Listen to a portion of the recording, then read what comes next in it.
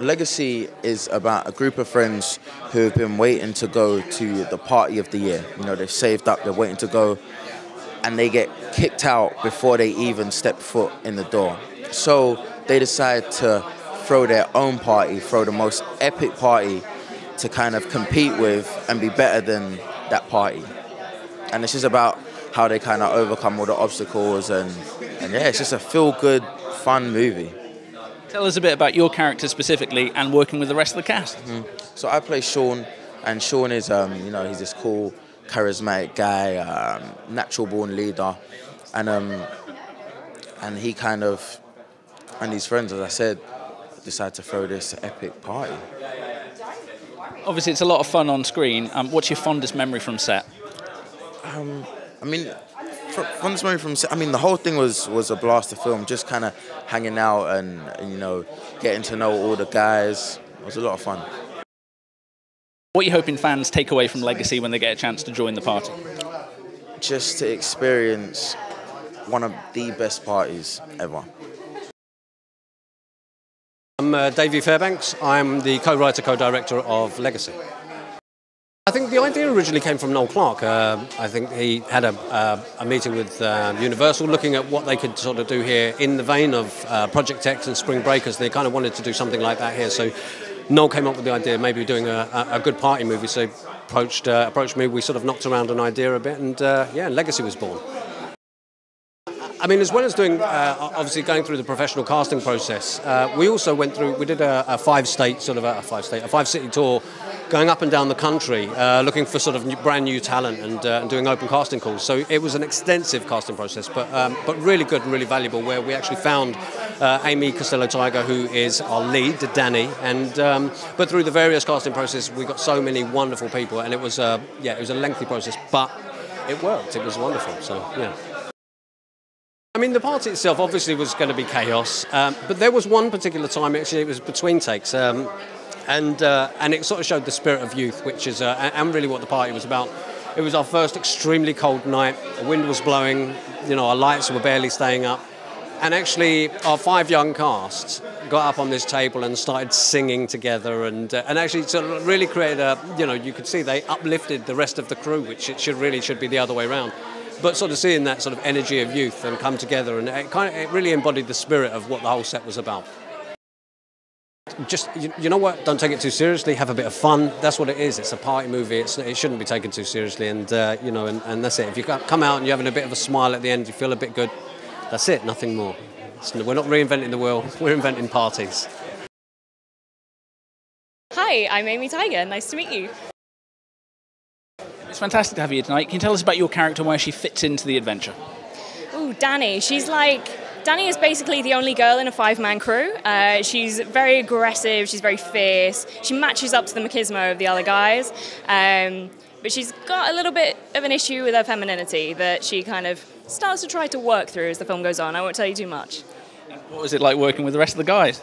Oh, it was brilliant to come from doing absolutely nothing to co-leading a film with Franz, who had just come off the set of Edge of Tomorrow, was incredible. Like he and all the rest of the cast had so many tips for me and advice, and gave me the benefit of their experience, and that was brilliant. The best bit of advice, I think it was it, it was the simple thing of not to worry too much, not to try, not to let your nerves get the better of you, and to just enjoy it because it is the best thing to work at what you love. What was it like specifically working with Franz? Because obviously he's uh, having a, a, great time at the moment. Edge of Tomorrow and, and our Legends of Tomorrow as well. He's part of. Oh, it was brilliant. It really was. He was he was really great. Yeah, and as I said, he just he just he was so generous with the advice that he gave me, and really kind of took me under his wing when I first got there. Yeah, uh, he took me out on the first night after we met each other just to get to know each other a bit better and to uh, find out about me and all sorts of stuff. He's a very nice guy. Yeah your fondest memories from set? From set? Oh. I think some of them were some of the, the faster paced scenes with all of the guys where we all just kind of felt connected to each other and we didn't really we just kind of bounced off each other and you just knew what everyone else was doing around you. I mean, the other thing, it wasn't on set, but there was a there was a car journey home one time where we were all in the car together. There was really loud music. All the windows were down. The stars were out. We were going home from set, and it was just like this is what I want to do. This is what I love, and it just felt amazing. Do you know what I mean? It sounds kind of odd, but it was like a I feel at peace. I feel at home. Yeah. Of course, this is about having the ultimate party. Um, what's the best party you've ever been to? Oh, people keep asking me that. but I'm kind of more of a. I like to go to cocktail bars with my friends. I like to do that sort of thing. I'm not so much of a partier, and I know that's really disappointing for everyone watching me, but that's that's the honest truth. I think I think it's got a bit of something for everyone. I think it's got uh, the key demographic of like 14 to 24 in there, you know, the party stuff, but also it's very funny and it's got a lot of heart. It's a very positive teen film, um, and I just think it's unique in that way. So I think, yeah, everyone should check it out, definitely. Hello, I'm Olivia Chenery and I play Yasmin in Legacy. So Yasmin is um, the sister of Danny. Um, she's a very free spirit. Um, she sort of acts as a guide. She's very, very close to Danny, and she um, looks almost a very motherly figure to her. Um, as I said, she's very free spirited, and she sort of acts as that. Um, she, she wants to get sort of Danny to loosen up a bit, and she sort of helps her along her journey into becoming, you know, a woman, if you like obviously I wanted to prepare my body um, as much as possible. I, I, tried to get in really good shape for it because you know you don't really want your like wobbly bits hanging out or whatever. But um, I guess preparing sort of mentally for it, you sort of just have to relax. I just relaxed into it really, and just um, it just it just felt felt very natural. Sort of when you're sort of there, even though there's loads of people in the room sort of filming and you know holding a boom or whatever. But um, just once you're there and doing it, it's it's it just feels normal. It's it's abs- absolutely fine really.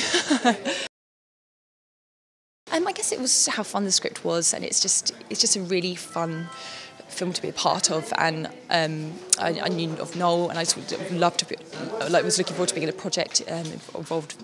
Looking forward to being involved in a project with him. So it was, um, it was just his reputation really, and the, the script as well. It was just like a fun thing to be involved in.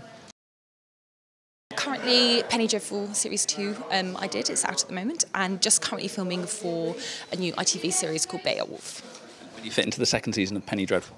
Um, I play uh, one of the witches who is uh, sort of trying to get. I don't know if you've seen it. She's, she's trying to kidnap um, kidnap Vanessa so we can give her to the devil and all this. So it's a lot of. We had a lot of very heavy prosthetic work, um, looking very evil and scarred and ugly. So it was great. Any particular fond memories from that experience? Uh, I think it was getting to work with um, the amazing actors in Penny Dreadful. It's full of absolutely amazing people. So it was, I think, that sort of overall experience of working with these amazing actors and actors that I've always aspired to be. My character is called Ben to start with. Uh, he's a very lovable character. He's got a massive heart. He's he's the the feel good character, sort of like. I think most people will be able to relate to him in the sense that, you know, he's not brash. He's not. Uh, he's not. He's never gone out to be nasty. He's never gone out to be, you know, malicious in any kind of way. He's just a lovely guy. He loves his friends from the bottom of his heart, and he really does want what's best for everyone. So I think, in terms of relatability, he's the guy that most people will be drawn to. So. It's a great cast. Can you talk about working with the rest of the gang on this one? Yeah, the rest of the gang are absolutely fantastic. You know, it was an absolute honour to work with people like Franz, who's got such great experience working with, you know, uh, actors of great credibility. Um, McKell as well, who's just done the Montana film. You know, Amy, this is her first ever film, and I mean, just the sometimes you just have to sit there and watch them and go, oh god, they're actually quite good. And I mean, even Shay, who's uh, obviously trained at an actual drama school, to be able to sit there and watch someone that's come through that and done that, you know, that's fantastic as well. But in terms of the actual everyone, you know, working with them, they're absolutely fantastic. They're just such lovely people to work with, and it's just brilliant. You know, I loved it.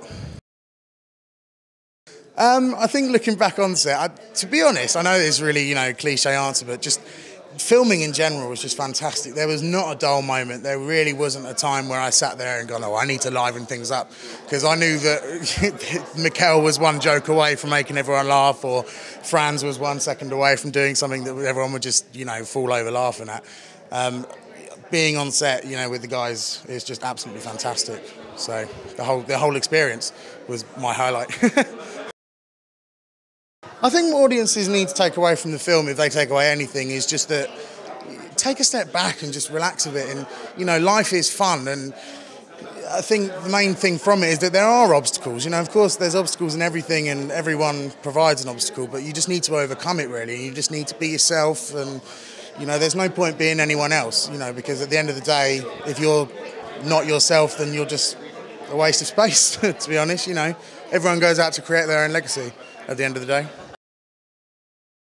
We have a mutual friend with Noel Clarke, and we took a little meeting with him and discussed how we could be involved, and came about to be a song called Deeper. Uh, yeah, it was just fun. We had a lot of fun writing it. We had the brief to be a party track, quite young and urban, so we kind of stuck to that and hope everybody likes it. yeah, it was completely out of, I suppose, our comfort zone. We wasn't even 100% sure what kind of route we was going to go down, but it's it's fun. It's just it's very different. But I kind of think we just kind of thought what would we kind of listen to and what could we throw a few little things in there? So so yeah it's different but it was it was an experience. It was fun to do. You guys appear on screen at the end of the film. What was it like being on film? At first it was really scary but then we just thought it's like any other one of our videos where we're used to performing the camera had to do the miming thing but the crowd were really good. They were jumping up and down and we had a little bit of bashment in there so that was really fun as well. We kind of got into it. So yeah it was really good. What have you got coming up for the rest of the year? What are you working on at the moment working on some new music, which it shouldn't be too long now before you guys can hear it. Yeah.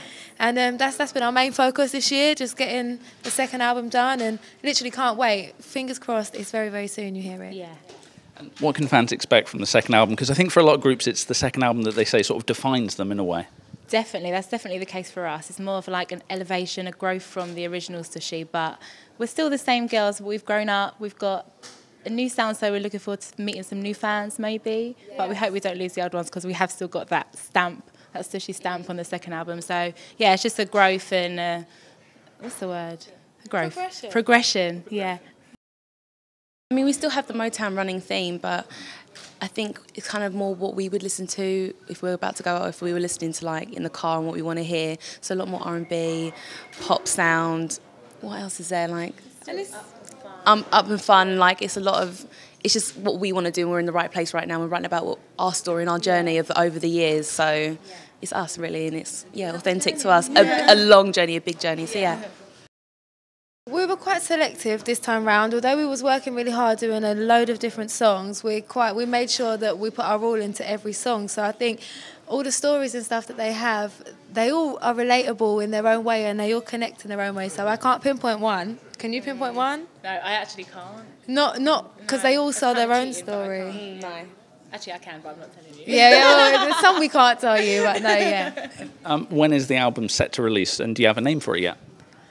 We don't have a name yet, and we don't have a set date yet. But hopefully, it's not that long. We're just getting it done. Yeah, looking forward to yeah. hearing the single.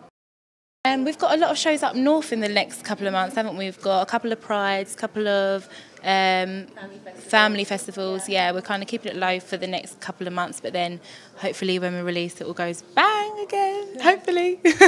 Obviously, we always enjoy Pride. Um, why is it important for you guys to be involved in supporting that? We just support everybody that kind of feels like they can express themselves freely, and we feel like you should be able to. So anything that stands for that, we'll be definitely up for. Final question: Have you got a message for fans before you leave us? Oh, we just can't wait to see you all again, and we can't wait for you to hear new music, and we won't let you down. We promise. Love you, squad. So I play Diamond, who is Yasmin's best friend, and she's always at the house, causing trouble or just flaunting my body. Um, so yeah, Diamond is like a fun-loved character who hopefully people will like. Yeah, people will like. I'm hoping. I like her. And is it fun to play a character like that who gets in trouble and flaunts herself a bit? Oh yeah, Diamond is like completely opposite to me. Like I'm not like that at all. I never get my body out, do I? That's a joke. That has got to be a joke. What was it like working with the rest of the cast? Oh, I loved everyone. It was so much fun. Like we literally had such a laugh on set because everyone was young and that the whole thing was about partying, having a good time, and that's what it was like. I mean, the end scene to film was literally like a 12 hour disco. Like it was amazing. It was like going clubbing for a whole 12 hours. It was insane. Was that your most fond memory from set? Is that the funnest thing that happened on set, that last scene? Yeah, that and um, yoga. My yoga scene was pretty good because they oiled me right up, and yeah. What are you working on yourself at the moment when you're not uh, watching Kelsey getting uh, oiled up? Just a bit of music at the moment. You know, I take my time with stuff. Um, just doing a couple of like TV bits. Just did MasterChef, which was pretty cool. Like that was a bit of a, a lifelong ambition of mine to do MasterChef. I'm a bit of a foodie, so yeah, that was cool. Uh, yeah, and just you know, taking a bit of time. You know, when you travel the world for five years, it's uh, it, get, it takes its toll. So it's just been nice to you know wind down a little bit for the last year. And um, Spend some time with me. yeah, I've got a dog now. I've got a mortgage. You know, home life. But yeah, it's been nice. It's been nice to, uh, you know, just to get get away from that scene a little bit, and uh, I'll pick it back up again over the next like six months to a year. I mean, fans will be really excited to hear that you're working on new music. Um, can you tell us about that? I mean, how does it compare to what they know and love you for? Yeah, obviously the Wanted were was a, was a big thing, and it was pop music, and uh, that has been a, a big part of my life, to be honest with you. But I've got a big love of, of dance music, so I want to try and you know not move away from pop music and incorporate it in a in a in a different way. And like I said, dance music's always been a passion of mine, so I think that producing, DJing, kind of dance music route is something that I'm definitely going to head down. So yeah. I mean, you guys had extraordinary success as a band all around the world. Um, I guess the obvious question is, you know, was it hard to say goodbye to that, and, and how do you feel now that you've got just a little bit of distance from it all? Yeah, you know, it is hard, it, but I think you have to be realistic and everything has a shelf life. And I mean, we'll never say never that we'll do stuff again because we're on a hiatus. So, you know, we'll, we'll do stuff as a group along the way, I'm sure we will. But you just have to get out of that whirlwind of, of being in a band, you know, constantly on promo, constantly touring. Takes its toll. And as a, working as a five, we all love each other, but there's only so much you can take as a, as a group. It's so. like being with your brothers every single day. Yeah, it is, and you just can't do it. It gets too much. So, yeah, I I know we'll do stuff in the future, but it's just for the time being. I think it's nice to just be able to separate that a little bit. Still see the lads a lot? Yeah, yeah, yeah. Well, three of them are living in the states at the moment, so it's it's been quite difficult to, to catch up. But I was on FaceTime to see the um, last week, and I'm going to Marbella next week with Max, so that should For be a golfing. golfing holiday. Golfing.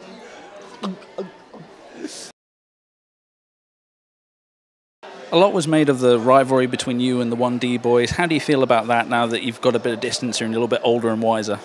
Uh, yeah, you know, it's it's petty, really petty. When you look back at it, you're like, it's it was petty, but it got it, Immature. it was, but it totally got everything's got blown out of proportion. And when you're in that bubble, you you just go with it. And even though you might not necessarily feel that way, you're just like, yeah, we'll go with that. Yeah, we'll go with that story. And yeah, it just totally got. It, we everyone got carried away with themselves, but it is what it is, you know. Certain situations happen sometimes that are out of your control, but it's done with. Is that part of why you guys did decide to take a break, just because you were kind of caught in that bubble and it was starting to affect you a bit? Yeah, you know, when you when you get when you live in that bubble, it's it just does take its toll. You know, you, you're constantly doing things. You're constantly, you know, just caught in a moment, and sometimes you just got to press pause and just go, you know what, let's just let's just say no for the future. Kelsey, what else have you got coming up apart from Legacy? Are we going to see you anywhere else? Um, well, actually, me. Can I say that we're doing? Uh, yeah. Uh, me and Tom are taking part in Mr. and Mrs. Oh my god, that's going to be fun. Which I'm a little bit scared about because Tom takes everything really seriously, like game shows, anything like that, board games. So I just don't want him to shout at me while we're on it. So are you, are you, are you nervous about that? I am. I'm competitive, so I hope she knows me as well as she says me. Says No, she I does. just said he can't be delusional. Don't be delusional when we play the game. Like what? Don't be like, oh, I work out the most. I do the washing and the cleaning. work out the most. Have you seen me? Look at He doesn't. He doesn't. He's a liar. I think you guys might be in trouble. Um, Kelsey, my final question: Have you got a, a message to fans about this film? and Why they should make sure they catch Legacy?